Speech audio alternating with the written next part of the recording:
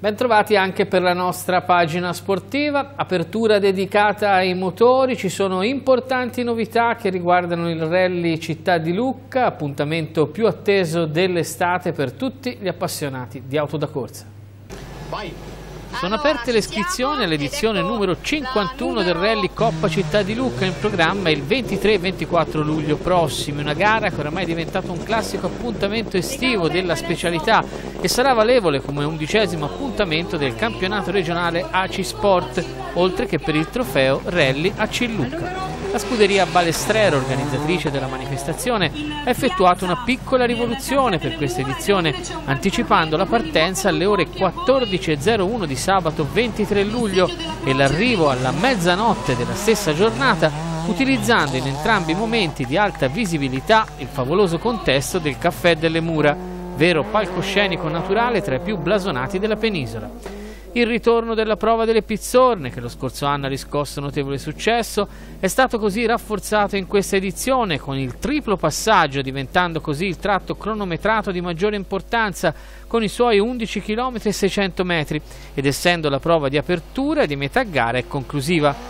Le altre due prove in programma saranno San Rocco di 11 km e Cune di 8 km e mezzo, entrambe ripetute due volte. Altra novità della gara, l'ubicazione del riordine del parco assistenza, che per la prima volta saranno posizionati nel centrale parcheggio delle tagliate. Una gara quindi molto concentrata che avrà 74 km di prove speciali per un percorso globale di 305 km. Basket, basket femminile, ennesimo successo per la formazione che si chiama Gentilmente, che conquista il suo terzo titolo nazionale WISP consecutivo.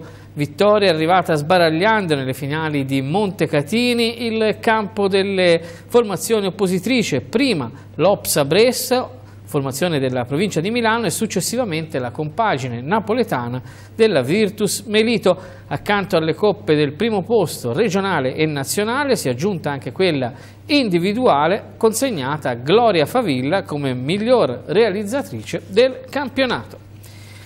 Ci spostiamo in vasca, nonostante la brutta performance al meeting dei Sette Colli, la nuotatrice via regina Diletta Carli spera ancora in una wild card per le Olimpiadi di Rio.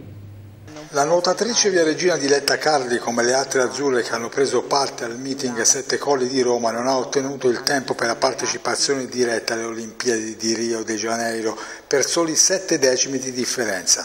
La Via Regina potrebbe però essere convocata ugualmente dal CT della nazionale Cesare Butini che diramerà in settimana prossima i nomi che gareggeranno alle Olimpiadi. Ai sette colli di Letta sabato ha conquistato il secondo posto negli 800 con il tempo di 8.27,27, sette decimi inferiori a 8.26,5 che era il limite per Rio. Nel 400 il giorno prima si era piazzata terza con un crono di 4.07.32, prima fra le azzurre, dimostrando di essere in forma e a questo punto non le resta quindi che sperare di avere convinto il CT azzurro per la convocazione alle Olimpiadi, visto il buon momento di forma che sta attraversando che ha anche ampi margini di miglioramento. Podismo è iniziata la stagione delle gare estive nel migliore dei modi per il gruppo sportivo Orecchiella. Dopo il successo alla Stra Santomoro arriva un altro alloro per il forte Mario Bendoni che si è aggiudicato la Sudatina Montalese, classica gara collinare di 10 km, appuntamento divenuto tradizionale, molto frequentato dagli appassionati di tutta la Toscana. Molto bene anche il gruppo podistico Parco Alpi Apuane con Nicola Matteucci, atleta di Marlia della Marathon Sport Parco Alpi Apuane. Nella Corri per Alice, gara su strada di 8 km, Matteucci ha vinto la gara in 29 primi, precedendo Stefano Giannini della Silvano Fedi di 1 minuto e 20 secondi e il giovane talentuoso Oscar Cassi di oltre 2 minuti.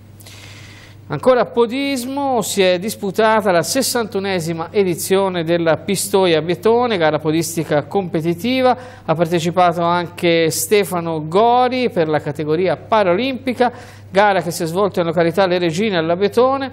E Stefano Gori negli ultimi anni aveva collezionato tre terzi posti, ebbene quest'anno è riuscito a, a centrare la vittoria con un tempo di 21 minuti battendo il suo personale di 2 minuti e mezzo, la sua guida in questo caso era Silvia di Pistoia. Infine salutiamo Jonathan Balducci e Riccardo Stefani, due centauri partiti da Filecchio per raggiungere Capo Nord in moto che sono arrivati in Polonia, ci tengono aggiornati dopo aver attraversato l'Austria con punte di 35 gradi di temperatura, sono stati accolti dalla pioggia nella Repubblica Ceca, ancora acqua all'arrivo in Polonia domenica pomeriggio. Balducci e Stefani affrontano l'impresa su due KTM 1190 di cilindrata. È davvero tutto anche per lo sport, un breve break, poi la terza parte del TG Noi.